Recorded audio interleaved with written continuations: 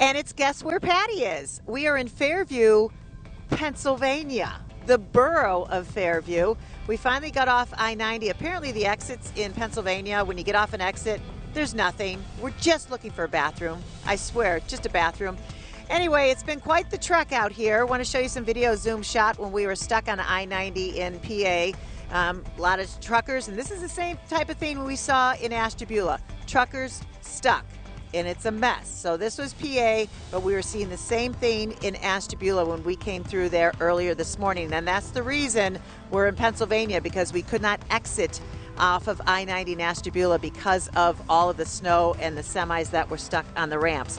I want to show you an incident we got going on right now at 271 and Chagrin in the northbound local lanes. They're in the midst of clearing it. So that's just something that we're seeing. So the roads are treacherous out in Ashtabula. Please don't drive out that way. Um, just don't do it. Like I said, this is the traffic reporter telling you not to drive because we couldn't get off the exits because we were uh, stuck. Well, they are just uh, all they're all you know snowed in out there in Ashtabula. So don't do it. We found a gas station, folks. Bladder Watch 2022 is over. I am finding relief. We'll talk to you in about 10 minutes. Oh, thank goodness. I, I, I hope they don't tell her that the, the bathrooms are closed. It's not working. Oh, anyway. Um,